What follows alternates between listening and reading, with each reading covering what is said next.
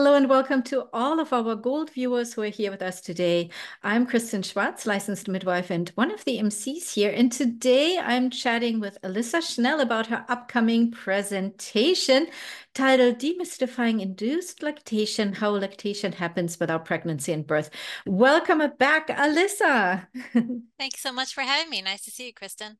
It's wonderful to have you back, back by popular demand here at Gold.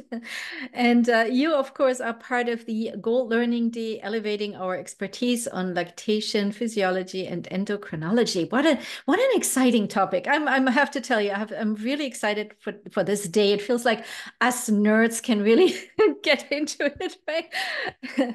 and really, really learn, uh, you know, dig a little deeper in all these wonderful hormones and such. And I want to talk about you your presentation in a moment. But first of all, Alyssa, where in the world are you? I'm in St. Louis, Missouri, in the US, which is right in the middle right in the middle there. It's always yeah. nice to know where our speakers are from because it's such an international event, or you know, we're such an international company with international speakers, and our audience is from all over the world. I always love finding out where our speakers are. So now let's talk about you and your background. I know you've been with us before. You've done a couple of these interviews too, but some of the people might not have met you yet, Alyssa. So talk about your background here. Uh, sure. I'm an IBCLC in private practice, and I started out my practice as an IBCLC in 2010, or I've been in the IBCLC since 2009, and started out really seeing a wide variety of clients. But in the last few years, I've sort of pruned my practice and really focusing on inducing lactation and relactation. That's my that's actually how I got into this. I started out as a La Leche League leader and I had two children by birth, my third by adoption, and breastfed my child by adoption and just became passionate about that experience was just incredible experience. Um, and I wanted to take things to the next level to really help people at a deeper level that I could as a La Leche League leader. So that's why I became an IBCLC.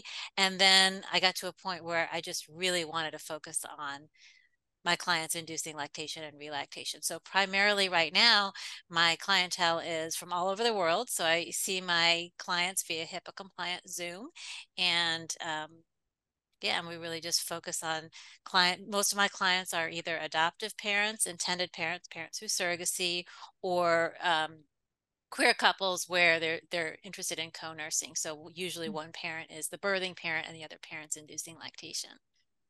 Oh, what a wonderful service you provide, Alyssa. It really, oh, that spe speaks so much to me. This is beautiful from your own experience, from your own journey, you know, uh, with adoption. And uh, correct me if I'm wrong, but I can imagine when you started that journey yourself, you probably didn't get too many resources or help uh, when you when you started that right or, or was it very easy to come by information for you probably not right no it wasn't in fact the most helpful source of information was um, the book by Diana West, Defining Your Own Success, which was written for people who've had breast reduction surgery. Mm-hmm. That was the closest I could get. there was nothing else out there. there really wasn't much out there. And I was so fortunate because I, well, I had my own personal experience with breastfeeding, but also I was a Leche League leader. So I had that whole set of resources there. So uh, and I'm kind of a researcher kind of person. So I, I right. researched it and took the, it was kind of in some ways therapeutic because it, it's hard being in that waiting space when you're adopting, waiting yeah. for that call to have the match. That was something I mm-hmm. could do. I could research breastfeeding, prepare for breastfeeding, and but I don't think that that's something everybody wants to do over and over again. And so that's why I wrote my book, Breastfeeding Without Birthing, and have this practice so that people don't have to be alone. I felt like I was alone in the yeah. wilderness, finding my way, and that was okay. But I think I want it to be better, have there be more support and more information for yeah, yeah people I, moving forward. and, and, what a beautiful resource that is for families out there you know because i can I can only imagine how alone that must feel because you know if you if you don't have the support if you don't have you don't even know where to start. Like you you were you had your own breastfeeding journey prior to that and uh, you know and then you were an ibclc but many people maybe uh, never they never had a baby or never were able to breastfeed to begin with right? When depending on what uh, what their circumstances are. So they don't even know where to to look for. what to look for.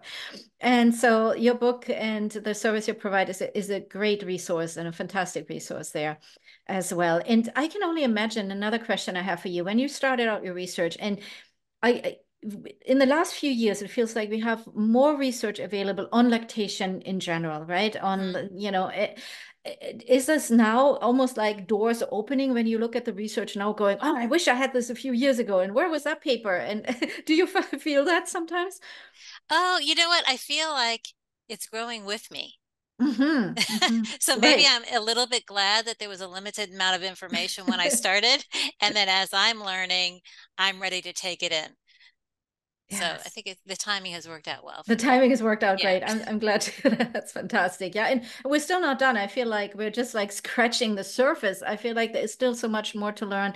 And um, and it also has to do with, you know, research is important, but also um, valuing not only human milk, but also the act of breast and chest feeding, right? Because otherwise, you know, um, this is so much more than just food. You know, it's this whole bonding experience for the parent, for the baby, right? Uh, so, can you talk about this a little bit too?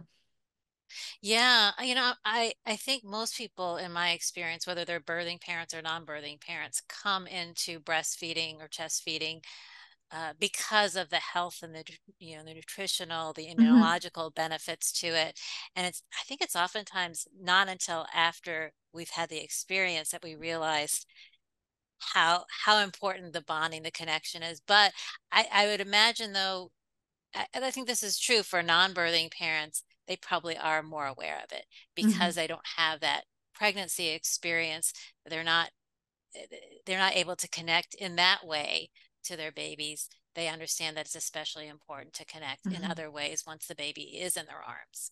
Mm-hmm. Beautiful. Yeah, well said.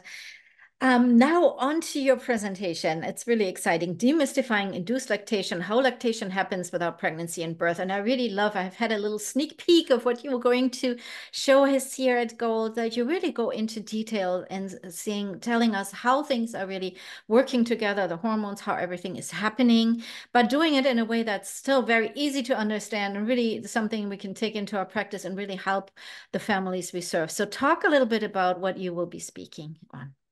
Yeah, actually, I'm very excited about it because in the past, when I've thought about how we go about inducing lactation, I've done kind of what you alluded to a few minutes ago. I looked at the research, how it was done in by other people in other mm-hmm. places and and even other times like going back into the history is interesting too when there was less right. availability of certain technology and medicine um, and so looking how everyone did in the past and using what was done in the past to apply to what we do today but for this presentation i took a different angle i looked at what do we know about general lactation, lactation following pregnancy and birth. How does lactation work there? And how do we take what we already know about that and apply it to inducing lactation? How do we take this um, understanding the hormones that happen in mm. pregnancy mm. and birth and take those things and apply them in a way to help us induce lactation? So it's really just with the same result, but coming at it from a different angle, which is really interesting. And it was very satisfying to see that the solution was the same. We're just coming at it from a different type of understanding.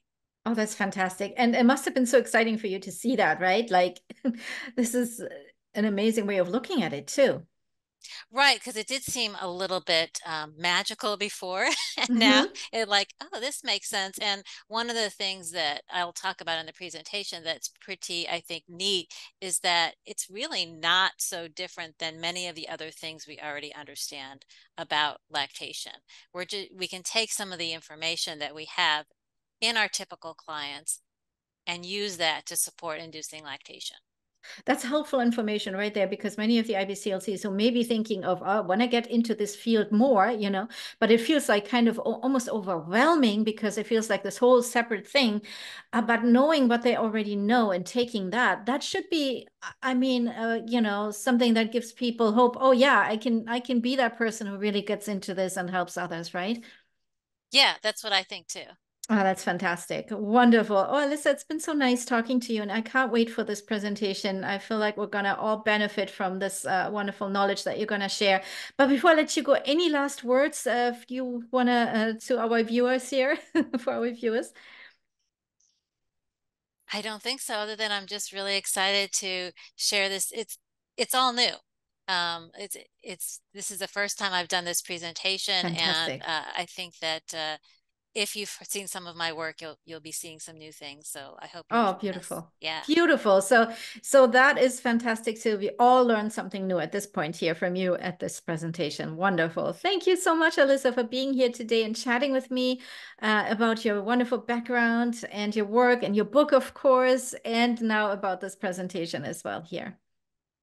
Thank you so much. I look forward to seeing you all in January.